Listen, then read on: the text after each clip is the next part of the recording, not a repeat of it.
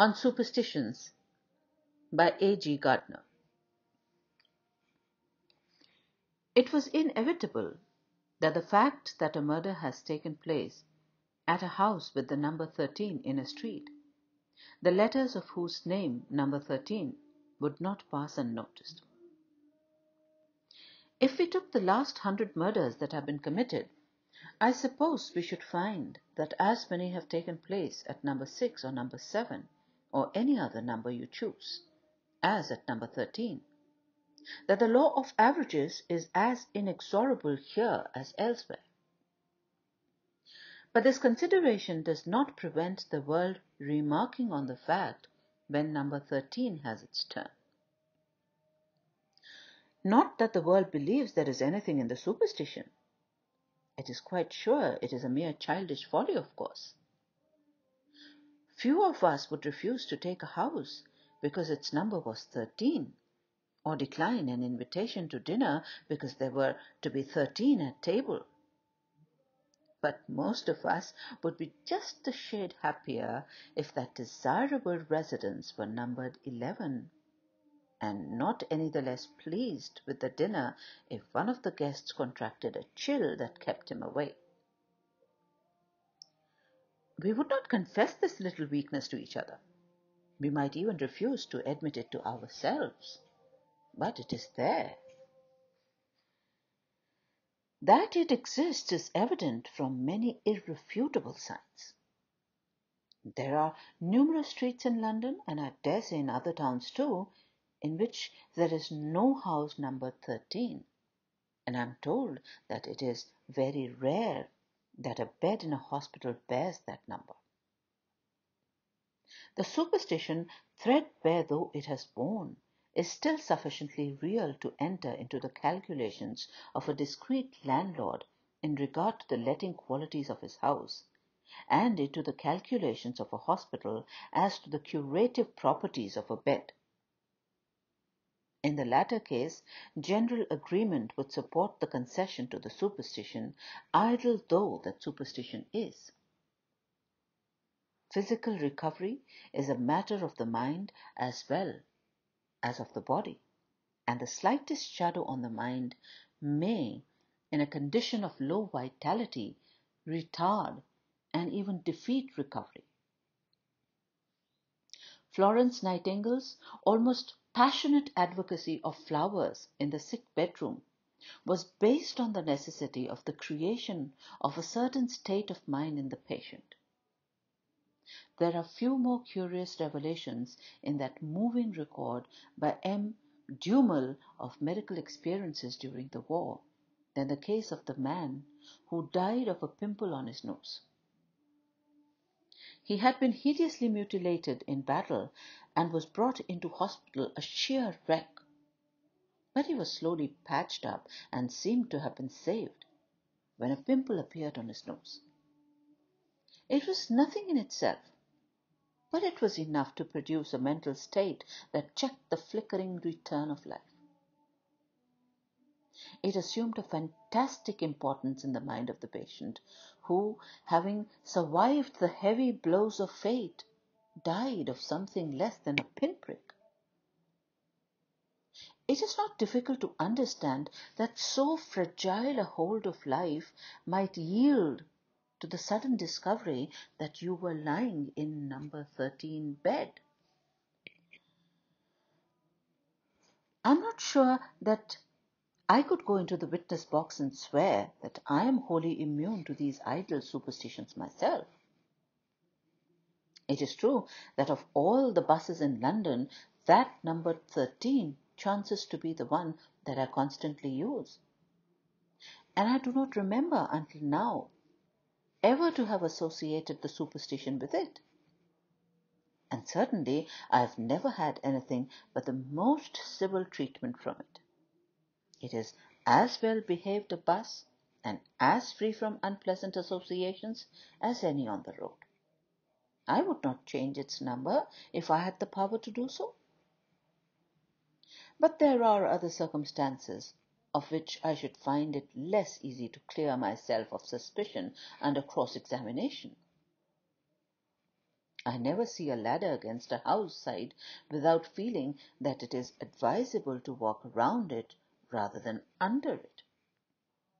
I say to myself that this is not homage to a foolish superstition, but a duty to my family. One must think of one's family. The fellow at the top of the ladder may drop anything. He may even drop himself he may have had too much drink. He may be a victim of epileptic fits. And epileptic fits, as everyone knows, come on at the most unseasonable times and places. It is a mere measure of ordinary safety to walk round the ladder.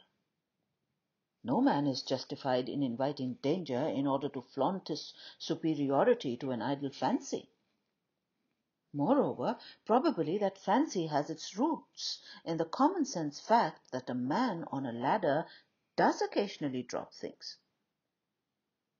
No doubt many of our superstitions have these commonplace and sensible origins. I imagine, for example, that the Jewish objection to pork as unclean on religious grounds is only due to the fact that in eastern climates it is unclean on physical grounds. All the same, I suspect that when I walk round the ladder, I'm rather glad that I have such respectable and unassailable reasons for doing so. Even if, conscious of the sus- suspicion and ashamed to admit it to myself, I walk under the ladder, I am not quite sure that I have not done so as a kind of negative concession to the superstition. I have challenged it rather than been unconscious of it. There is only uh, one way of dodging the absurd dilemma, and that is to walk through the ladder. That is not easy. In the same way, I am sensible of a certain satisfaction when I see the new moon in the open rather than through glass, and over my right shoulder rather than my left. I would not for any consideration arrange these things consciously.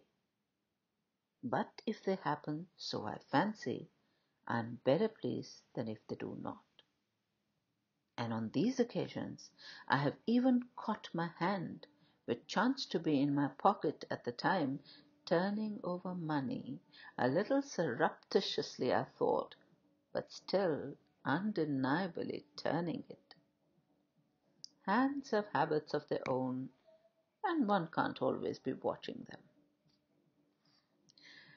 But these shadowy reminiscences of anti-credulity which we discover in ourselves play no part in the lives of any of us. They belong to a creed outworn. Superstition was disinherited when science revealed the laws of the universe and put man in his place. It was no discredit to be superstitious when all the functions of nature were unexplored and man seemed the plaything of the beneficent or sinister forces that, that he could neither control nor understand, but which held him in the hollow of the hand. He related everything that happened in nature to his own inexplicable existence, saw his fate in the clouds, his happiness or misery announced in the flight of birds, and referred every phenomenon of life to the soothsayers and oracles. You may read in Thucydides of uh, battles being postponed and lost because some omen that had no more relation to the event than the falling of a leaf was against it. When Pompey was afraid that the Romans would elect Cato as praetor he shouted to the assembly that he heard thunder and got the whole election postponed. For the Romans would never transact business after it had thundered. Alexander surrounded himself with fortune tellers and took counsel with them as a modern ruler takes counsel with his ministers. Even so great a man as Caesar and so modern and enlightened a man as Cicero left their fate to augurs and omens. Sometimes the omens were right and sometimes they were wrong. But whether right or wrong, they were equally meaningless. Cicero lost his life by trusting to the wisdom of crows. When he was in flight from Antony and Caesar Augustus, he put to sea and might have saved, might have escaped. But some crows chanced to circle round his vessel, and he took the circumstances to be unfavourable to his action, returned to shore, and was murdered. Even the farmer of ancient Greece consulted the omens and the oracles, where the farmer today is only caref- careful of his manures.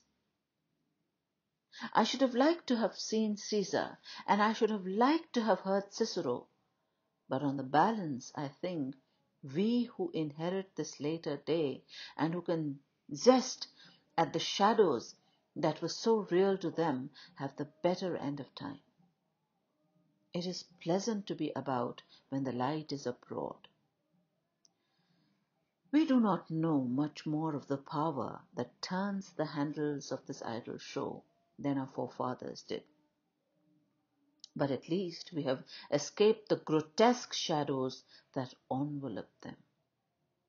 We do not look for divine guidance in the entrails of animals or the flight of crows, and the House of Commons does not adjourn at a clap of thunder.